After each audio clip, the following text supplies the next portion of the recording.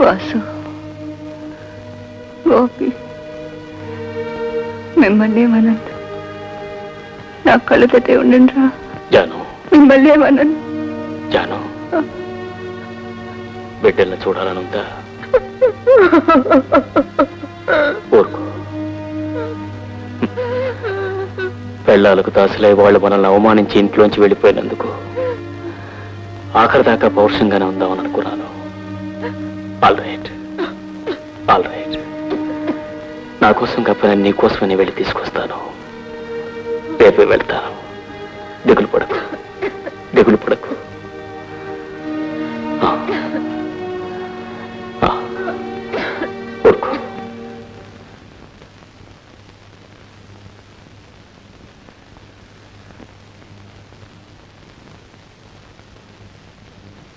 దుర్గా? దుర్గా.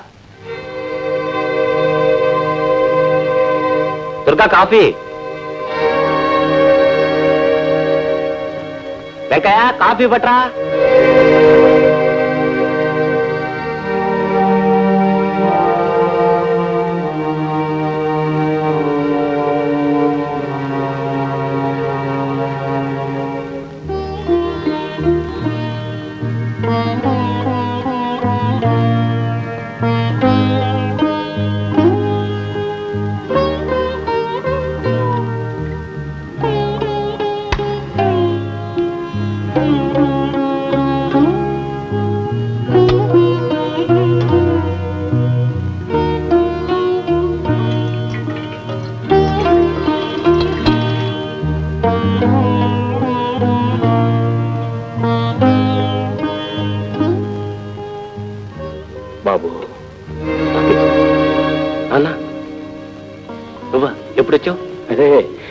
దుర్గను కాఫీ అడుగుతున్నప్పుడు వచ్చాను.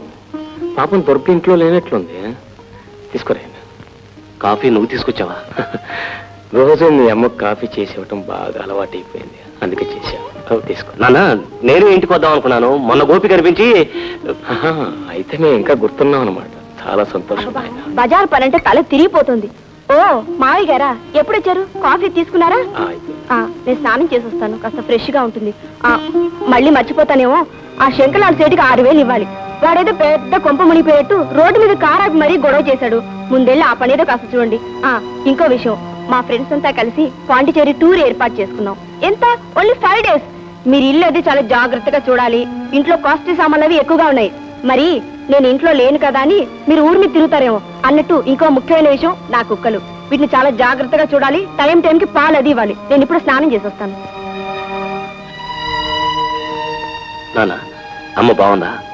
మీ అమ్మ బాగానే ఉంది ఆయన అయినా ఎలా ఉంటే మాత్రం నువ్వు చేయగలిగింది ఏముంది? ఈ ఇంటిని కుక్కల్ని బాగా చూసుకోవాలి కదా. బాగా కాపలాకాయి వస్తా.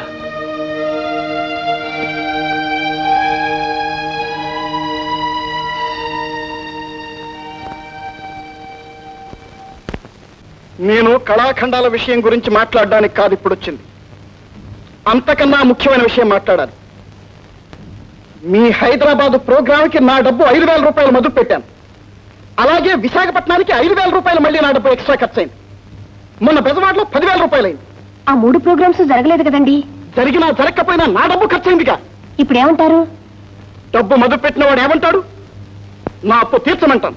ఇప్పుడు మా దగ్గర అంత డబ్బు లేదు. త్వరలో వస్తుందని నమ్మకం కూడా లేదు. భలేవారే. నన్ను కోర్టుకెళ్ళమని జోక్ చేస్తున్నారా ఏమిటి? కోర్టుకు వెళ్తారా? మరేం చేయమంటారో మీరే చెప్పండి. ఏం బెదిరిస్తున్నారా? ఎంత మాట నా తదుపరి కార్యక్రమాన్ని తమకి మనవి చేసుకుంటున్నాను. మళ్ళీ నాలుగు రోజుల్లో వస్తాను. నా డబ్బు నాకు రెడీగా ఉంచండి. సెలవా మరి? ఓ.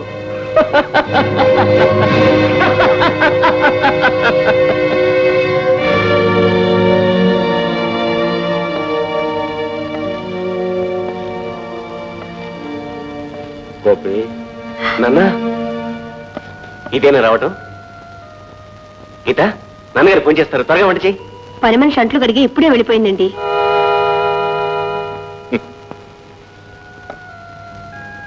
నిన్ను చూసిపోదామని వచ్చాను. చూశాను. కడుపు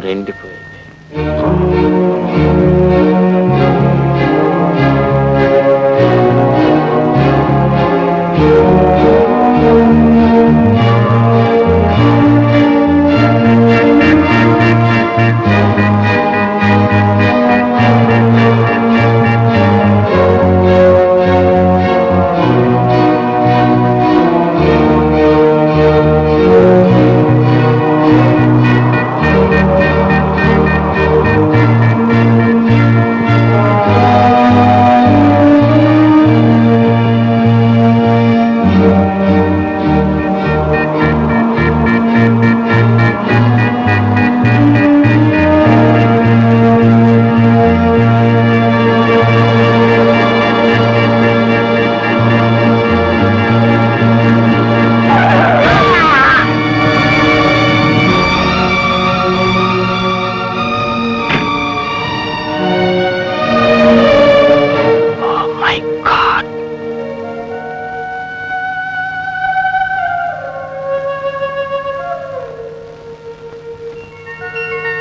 నేను ఎక్కడున్నాను అని మీరు అడకమునిపై చెప్పేస్తున్నాను. మీరు పడదామని ప్రయత్నించిన ఆ కారు ఈ ఇల్లు రెండూ నావే. అర్థమైందా? నీ కారు నన్ను చంపకుండా నాకు చాలా అన్యాయం చేసింది బాబు. అలా అనకండి. ఎంతో జీవితాన్ని చూసిన మీరే అలా బాధపడితే అలా చెప్పండి. అవును మీకు భార్య బిడ్డలు ఎవరు లేరా? ఉన్నారు బాబు. భార్య ఉంది పిల్లలు ఉన్నారు. మరి ఉంటే ఎందుకులా మీరు? కొడుకుల దౌర్భాగ్య జీవితాన్ని కళ్ళారా చూసి. ఆ విషయం నా భార్యతో చెప్పడానికి మొహం చెల్లక మొహం చెల్లక. చూడండి కొడుకులు పుట్టలేదని కొందరు బాధపడతారు. పుట్టిన వాళ్ళు ప్రయోజకులు కాలేదని మరి కొందరు బాధపడతారు. అదే విచిత్రం అదే సృష్టి. ఆఫ్ కోర్స్ ప్రయోజకులైన కొడుకులు కూడా పెళ్ళాల చేతుల్లో కీలుబొమ్మలై తిరుగుతూ ఉంటే మరికొందరు బాధపడుతూ ఉంటారు. It is bad luck bad luck Ravi? Ravi? ఏమిటేదో accident జరగబోయింది? నీకేం దెబ్బలు తగలేదు కదా? లే డాడీ. ఆయన నా కారు కింద పడిపోయారు. అరే మరి డాక్టర్? అవసరం లేదు డాడీ. ఫార్చునేట్లీ ప్రమాదం ఏం జరగలేదు. మా డాడీ సుబ్రహ్మణ్య గారు పిఎస్ఆర్ షుగర్ ఇండస్ట్రీస్ ప్రొపరేటర్. నమస్కారం. నా పేరు రాఘవరావు. బాబు ఇక నేను వెళ్ళొస్తాను. ఎక్కడ వెళ్తారు? ఇంకెక్కడికి వెళ్తాను? మా ఇంటికి. రండి నేను డ్రాప్ చేస్తాను. మాది ఊరు కాదు బాబు. విజయవాడ. పర్వాలేదు. నేనే డ్రాప్ చేస్తాను. Sure sure. ఓకే రండి.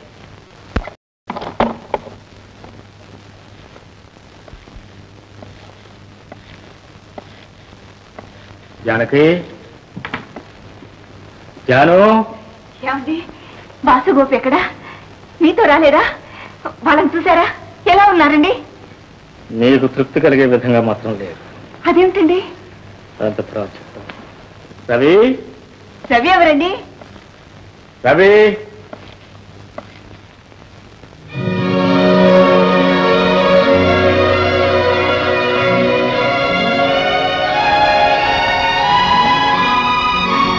నమస్కారం. ఎవరు బాబు? ఏమండి? చిన్నప్పుడు తప్పిపోయిన మీ కొడుకునమ్మ.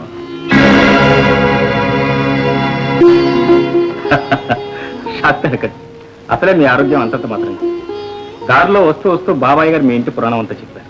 ఎలాగైనా ఈ ఇంటి పరిస్థితులన్నీ చక్కదిద్దాలని నేను నిర్ణయించుకున్నాను. మీరు అంగీకరిస్తే.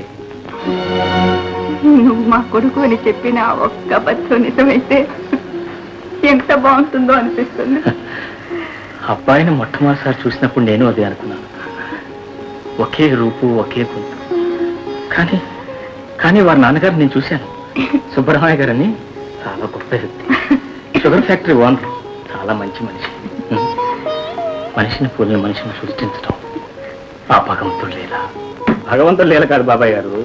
మన తెలుగు సినిమా నిర్మాతలు కొత్త కథలు దొరక పాత కథలనే మళ్ళీ మళ్ళీ మార్చి తీస్తున్నట్టు ఆ భగవంతుడు కూడా కొత్త ఫిగర్స్ దొరక పాత ఫిగర్స్ నే మళ్ళీ మళ్ళీ మార్చి మార్చి ముద్రలేస్తున్నారు.